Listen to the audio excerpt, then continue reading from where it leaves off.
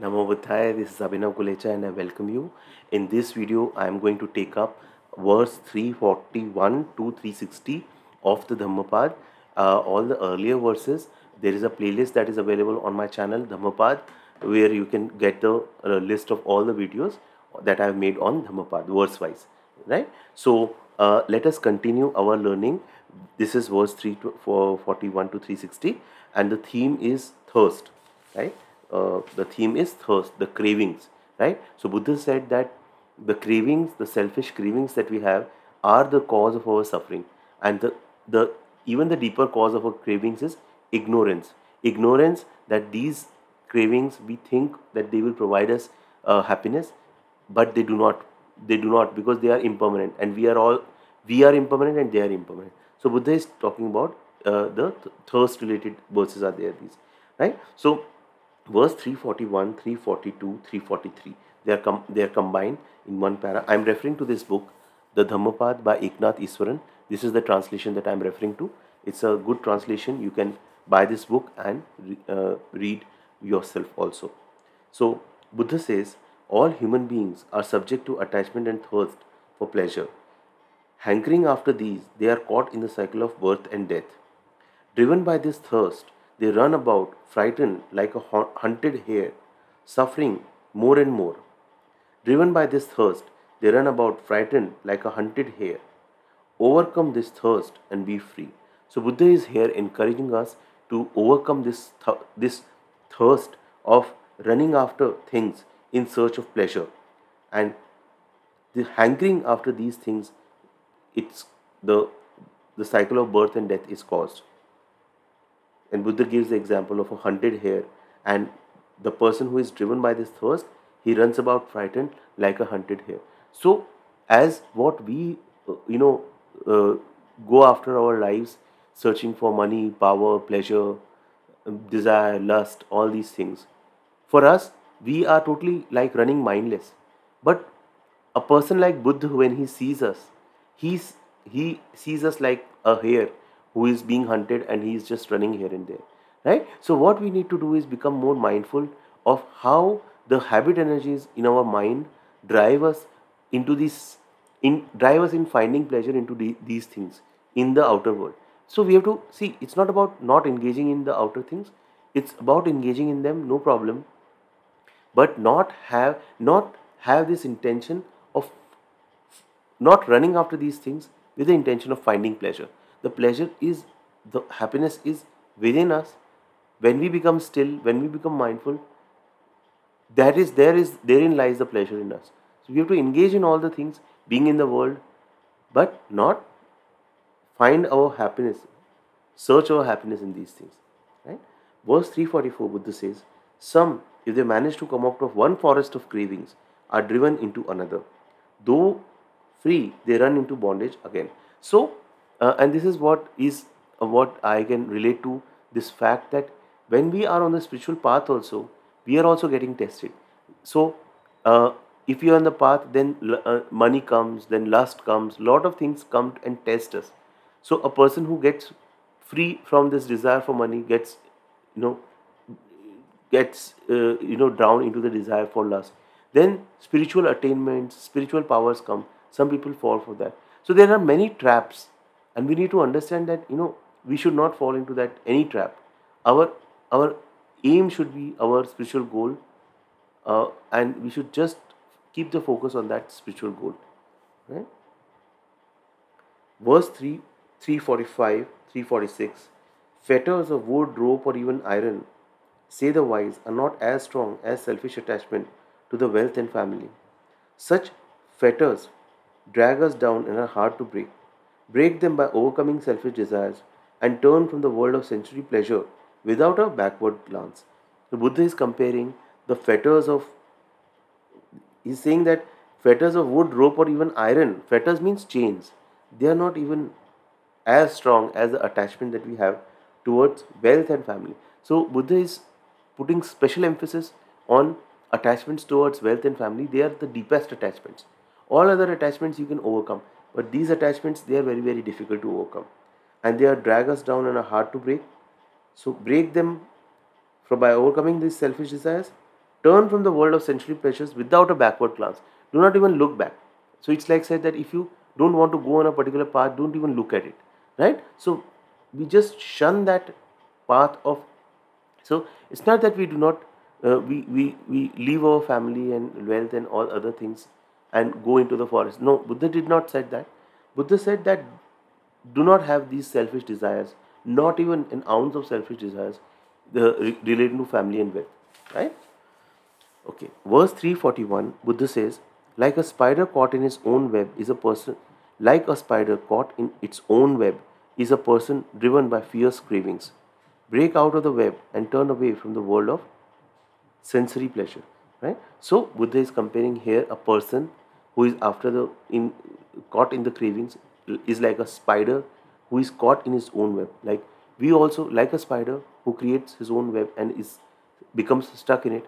We also create create our own web of desires and then we get stuck in it and we get stuck in it from lifetime after lifetime unless we come into the path of knowledge and we realize that we have to overcome this these desires so that is what buddha is saying so verse 320 348 buddha says if you want to reach the other shore of existence give up what is before behind and in between. Set your mind free and go beyond birth and death. Give up what is before behind and in between right? Just give up whatever all the desires that we have in this lifetime that we have. Just give up them. Set your mind free. Set your mind free your mind from all these desires and go beyond birth and death that means achieve nirvana verse 349 350 buddha says if you want to reach the other shore don't let doubts passions and cravings strengthen your fetters Meditate deeply, discriminate between the pleasant and the permanent, and break the fetters of Mara. Right? So Buddha is saying that don't let the doubts, the doubts that we have on the teacher, on our practice, right? and on our spiritual progress, passions, all the passions about the worldly objects, and the cravings, don't let them strengthen our chains. Meditate deeply. Buddha is asking us to meditate deeply. Right? Meditation is where we develop our mind so much so that we get insight we, we get the wisdom that this is all impermanent so how to do meditation you can practice insight meditation which is also called vipassana meditation i made separate uh, video on the insight meditation how to practice it i'll make more videos on insight meditation start doing the insight meditation from today right spend some time doing meditation daily and go deep into it discrimination discriminate between the pleasant and permanent and break the fetters of Mara. Verse 351 Those who are free from fear, thirst, and sin, fear, thirst, and sin, have removed all thorns from their life. This body is their last. This body is their last. They will not be born again. Verse 352 They are supremely wise who are free from compulsive urges and attachments, and who understand what the words, what the words really stand for. This body is their last right so buddha is saying that those who are supremely wise who are, who are free from compulsive urges urges that like that drive us into doing certain things right we cannot like so our discerning ability our discretion is clouded by these by these urges that come from our deep unconscious. Because we have practiced them so much like food sex all these things right? Hatred. They are like so deeply hardwired we are. And you know they just drive us into doing certain things. They drive our behaviors. So people who are free from these compulsive urges and attachments and they understand what the words really stand for.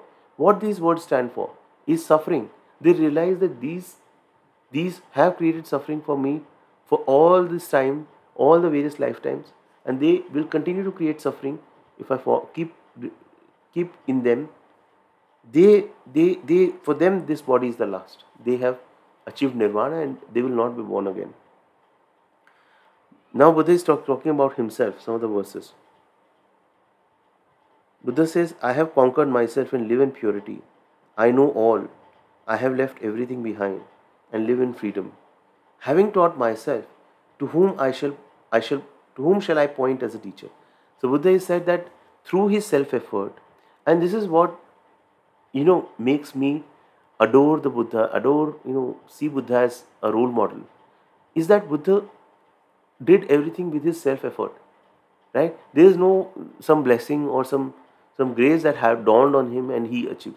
So it's like said that even before coming from in this particular lifetime that he came, he had done lot of penance and the good deeds and the generous deeds in his many many previous lifetimes to achieve the status of arahant in this lifetime.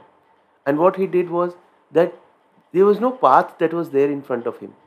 When he escaped his family, when he left his family, he was totally clueless, but he wanted the reason, the answer for his suffering. So he did not have a guru or a guide to show him a clear path. And he consulted various teachers who could just take him to a particular level and he could not satisfy and they could not satisfy his search for the ultimate truth. And then through his penance of six years, he finally found the ultimate truth, which he gave as the Four Noble Truths and the Noble Eightfold Path.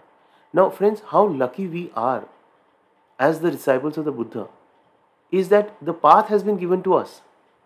We don't have to do the hard work of, you know, doing that penance and finding that particular path. We just have to have faith in our teacher and just follow that path. So, how blessed, how lucky we are. First, to get a human life, and second to have a teacher like buddha where the knowledge that buddha has given us it's like free from dogma from rituals from belief in some some some uh, uh, some god or you know some blind belief or something it's totally free from that. It's all basis on the scientific thing that what you sow you shall reap. So start doing the right things right? The knowledge of vipassana that buddha has given is totally unique right? No other master had given that kind of knowledge. So the knowledge of vipassana which is insight the knowledge of insight meditation. So start practicing that. We are so lucky to have buddha as our teacher.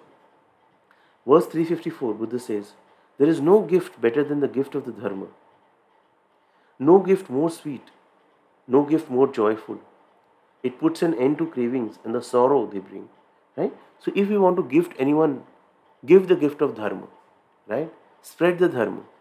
Like what I have been doing, this is just my way that I want to spread, you know, these teachings. Because see, I am on my learning journey myself.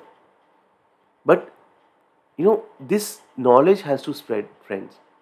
This knowledge that is lost, it that has to go out. And more and more people have to be aware of this knowledge.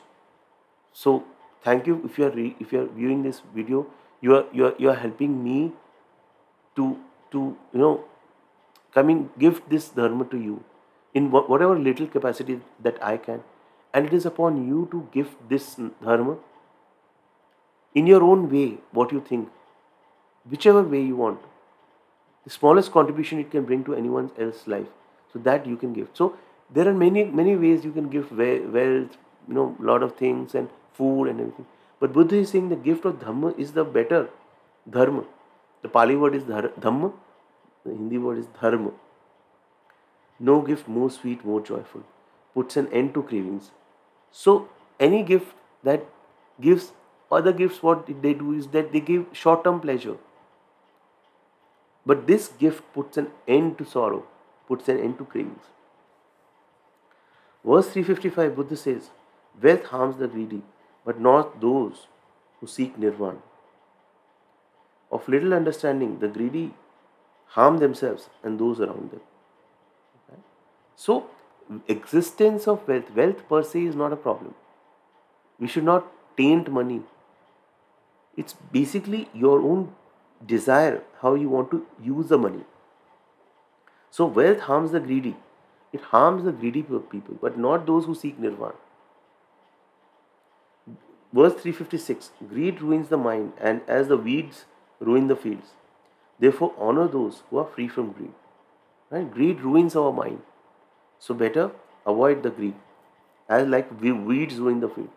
Verse 357 Lust ruins the mind as the weeds ruin the fields. Therefore, honor those who are free from lust. 358 Hatred ruins the minds as weeds ruin the fields. Therefore, honor those who are free from hatred. So, 359 Selfish desires ruin the mind as weeds ruin the fields. Therefore, honor those who are free from selfish desire. So, Buddha here talks about greed, lust, hatred, selfish desire, and wealth. All these things ruin our mind. So we need to be, we need to basically be free from these things. What we, what we need to be free? Greed, lust, hatred, selfish desires. Right? Be free from these things. See, we can only control our mind. We cannot control anything else. So we'll just touch upon verse 360 and then I'll close this video. Uh, verse 360 Buddha says, Train your eyes and ears, train your nose and tongue. The senses are good friends when they are trained. So Buddha again brings, comes back. See, all these issues, all these cravings, they are latent in the latent defile, uh, present in us as the latent defilements. But when they become activated is where we have an object in front of us. It may be a woman, it may be a man, it may be some good food, it may be some something in the television that we won't want to see, it may be money, right? And then through the sense doors, the eyes, ears, nose, touch, you know, these sense doors, these latent defilements get activated. So if we are trained in mindfulness, if we are mindful, then even if we see those objects, the greed, aversion, hatred, these things do not come up in our consciousness. Mindfulness is like a watchman of our sense doors. So that kind of a training. So senses are good friends. They help us evaluate, perceive the world, but they have they can we don't we have to ensure that they do not become our master. They do not.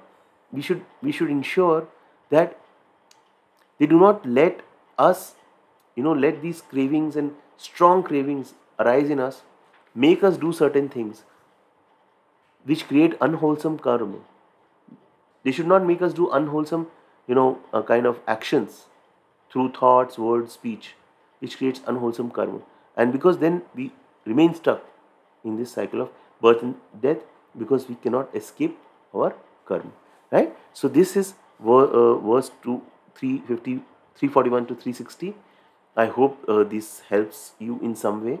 Uh, if you have any thoughts feedbacks comment uh, any reflection on any of these verses do share in the comment section.